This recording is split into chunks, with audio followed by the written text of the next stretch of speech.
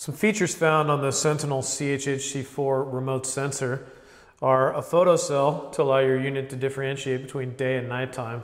Having the photocell on the remote sensor allows the main unit to be placed outside of the growing environment.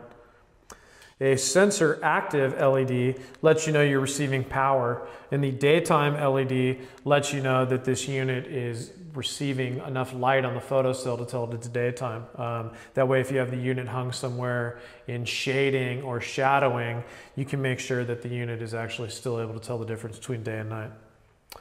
The metallic shielding is actually not on there for aesthetic reasons. It's part of the grounding of the unit.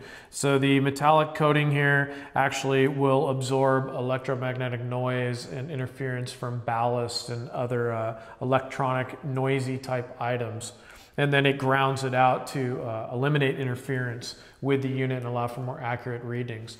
Uh, that being said, you still want to make sure to mount your remote probe, all the wires, and your CHHC unit uh, about eight feet away from digital ballast or banks of ballast just to eliminate any possibilities of uh, interference or problematics.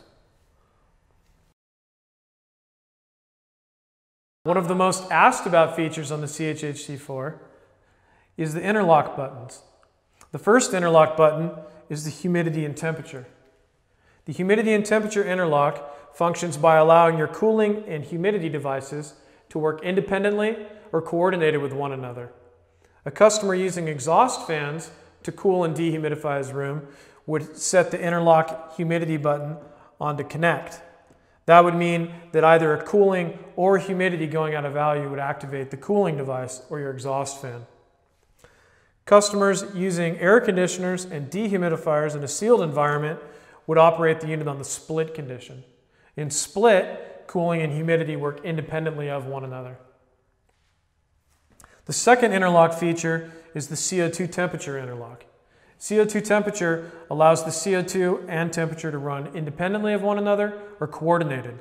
A customer with a sealed room and an air conditioner would want to run the unit in a split condition. A split condition allows your cooling device to run and your CO2 device to run when necessary. Moving the CO2 temperature interlock to connect this allows your CO2 to run during a cooling cycle. So you're not adding heat to the room or blowing CO2 that you've paid for out with your exhaust fan. A third feature commonly asked about is the fuzzy logic mode. Fuzzy logic is to be used with CO2 regulators and compressed CO2 bottles. This allows for very tight controls of your grow room environment. Thank you for visiting us at the Sentinel Technical Channel. Feel free to contact us at growgps.com.